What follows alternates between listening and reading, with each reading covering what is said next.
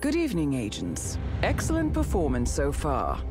We have only scratched the surface, but our investigations continue to reveal a deep connection between these targets.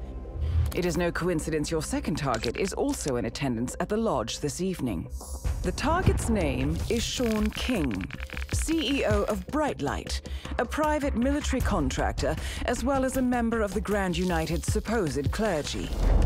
King grew up around guns and spent his childhood hunting on his family's ranch in Montana. That he would enlist in the US Army is unsurprising, but being a suspect when a shipment of Sidewinder missiles went missing was. Despite overwhelming evidence against him, he was found not guilty.